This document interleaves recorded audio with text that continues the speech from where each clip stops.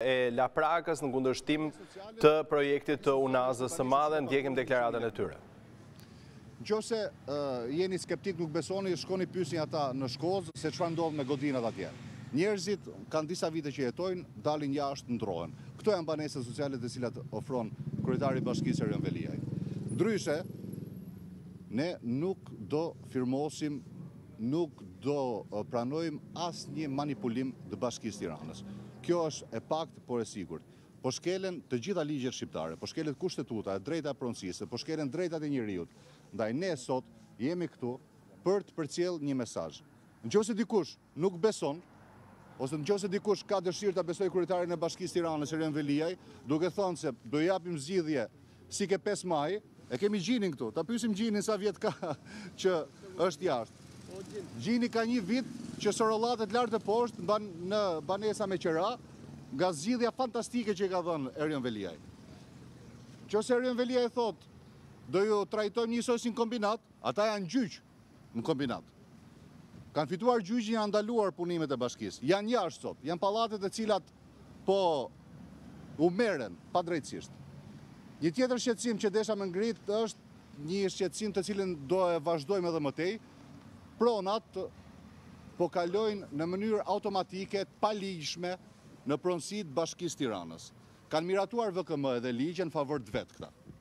Dhe i bie që Prona ime, në qoftë se bëj një aplikim për rifreskim të kartelës të pasurisë, nesër del në pronë të bashkisë Tiranës. Nga Bled Marku, del bashkia Tiranës. është një vjedhje e hapur.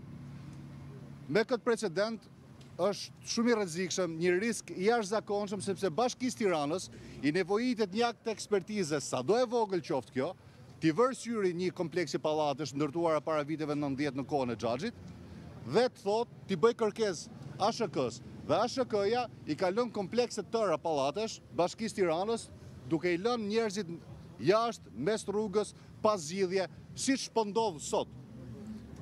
Në qoftë se ne kemi tridhjetë vite që jetojmë këtë zonë, kemi çerdhen këtë zonë, kemi kopshtet, kemi punën, kemi jetesën, kemi fqinjët, komshinjtë, kushërinjtë.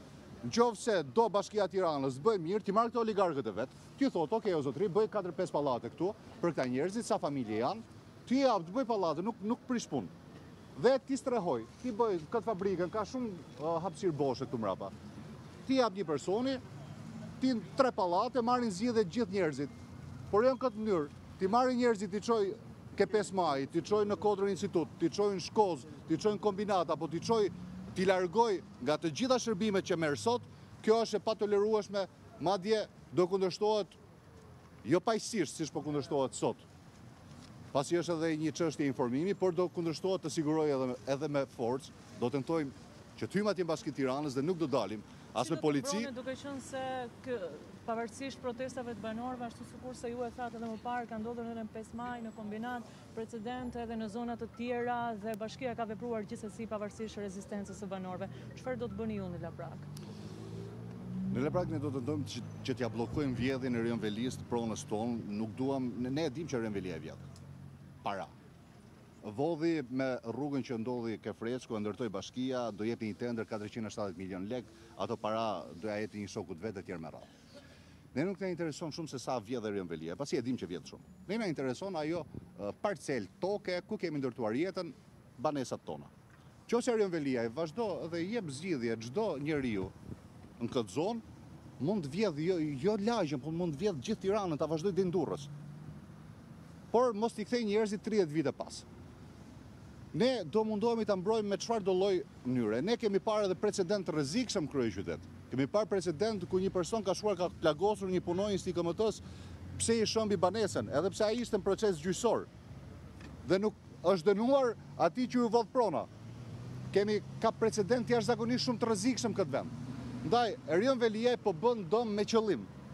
Qëllimi i tij është të marrë këtë zonë, ta zhvilloj, t'ja jap një oligarku tjetër, pasi i dimë edhe emrat se kush do ndërtoj pallate këtej rreth e përqark. Dhe nuk i intereson fare rruga. Rruga siç është, është funksionale. Pse u zgjat edhe 2 muaj, 3 muaj, 4 muaj rruga, nuk prish punë. Mjafto, hajde. Në qoftë se Erion Veliaj, unë dal garant për një diçka. Në qoftë se Erion Veliaj, Belinda Balluku, edhe kryeministri Edi Rama që nuk e dimë se ku është, në qoftë se i jep zgjidhje njerëzve këtu një zgjidhje adeguate të përshtatshme për njerëzit, të siguroj unë, të dal garant unë. Do jem vetë i pari që do shkoj në derë njerëzve t'i them Dilni jashtë se po pengoni rrugën. Çfarë cilësoni ju si zgjidhja më e mirë e mundshme? Zgjidhja më e mirë e mundshme janë një, mund bëhet kompensimi metër për metër, hajde bëj matjet, banesës time, banesës Shkumbinit, banesës Gjinit, banesës tjetër, tjetër, tjetër me radhë, bëj matjet, sa janë, realisht, bëj kompensimin metër për metër. Jepja diku, këtë zonë, ku kemi jetuar tash 30 vjet. Tjetra është parat në dorë. E dyta është te çmimi mesatarizuar i tregut. Ne nuk duam të bëhemi të pasur me fatkeqësinë që na ndodh. Ne nuk shfrytëzojmë as tërmet, as fatkeqësi, as uragan, as përmbytje për t'u bërë të pasur. Fatkeqësia është e jona. Sot na ra fatkeqësia e reveliaj dhe ky projekti, projekti i devijuar. Do dalin edhe në seanca gjyqësore se si është devijuar projekti dhe sot nga autoriteti rrugor shqiptar, do ja shpjegojë edhe avokati, nga autoriteti rrugor shqiptar po zbatohet një projekt i pamiratuar ende. Edhe kjo është më skandalozja. Jemi edhe në gjyq me autoritetin rrugor shqiptar dhe autoriteti rrugor shqiptar ka thënë që nuk kemi një projekt të përfunduar. Dhe në momentin që nuk ka një projekt përfunduar, nuk ka projekt. Ndaj ne përpos kësaj, është pjesa parat në dorë. është çmimi mesatarizuar i tregut. Të respektohet çmimi mesatarizuar i tregut, të shpronësohen njerëzit, pronarit e banesave, kushdo qoftë ai, dhe mos të hynë tashmë dikujt, jo do ja japim shokut partis, jo do ja japim mikut ton, ose do shkoj unë t'jap 5.000 euro ke agjencia e shpronësimeve, ose 10.000 euro, ose 20% të vlerës të pronës, t'i dal garant që i merr ai drejtori, dhe në mënyrë që t'kalojnë thesar, dhe të bëhet shpronësimi me vlerë reale, se edhe kjo po ndodh në këtë zonë. Njerëzit shkojnë, takojnë sekserë të ndryshëm, shkojnë te drejtoria e shpronësimeve, i premtojnë 10%, 15%, 20%, në mënyrë që t'u dalë vlera edhe atyre të cilët i kanë. Edhe një rast i, pa, i, i turpshëm është se vjen autoriteti rrugor shqiptar në këtë zonë, edhe i thotë njerëzve, merrni firmosni ju sikur i keni marrë lekët. Dje ka ndodhë kjo gjë. Merrni firmosni këtë dokumentin ju, sikur i keni marrë lekët nga agjencia e shpronësimit dhe lironi banesën dhe ju premtoj që do ju japim parat në një kohë të ardhme. Por ai person i cili firmos sikur ka marrë lekët, ai nuk ka të drejtë më të shkojë të kërkojë lekë pasi autoriteti rrugor shqiptar me atë dokument paraqitet në çfarëdo lloj gjykate dhe thotë urdhëro. Bled Marku ka marrë paratë dhe nuk ka të drejtë të marrë asnjë vlerë tjetër parash.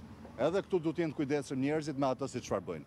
Në qoftë se nuk janë të kujdesshëm, do përfundojnë si shumë e shumë e shumë e shumë njerëz në kryeqytet, në Astir, në Kombinat, në Laprakë, te Pesë Maji. Që ta sqarojmë diçka shumë të vogël, po edhe të rëndësishme që mos mos ta lëmë edhe kryetarin e bashkisë të bëjë propagandë idiote. Ne nuk jemi kundër projektit. I pari që e do projektin jam unë. Unë kam një vajzë dy vjeç është në çerdhe. Dhe nga puna ime 15 minuta shkoj e marr vajzën në çerdhe dhe vi në shtëpi pastaj shoh punët e mia për 15 minuta pra ky projekt kaq sa është aktualisht më ka vyer për të kryer punët e mia. Dhe projekti nëse përfundon nesër, mua më vyen edhe më shumë. Pasi mund të lëviz më shpejt për Për pesë minuta, thotë Balluku dikur i biem Tiranës rreth e qark.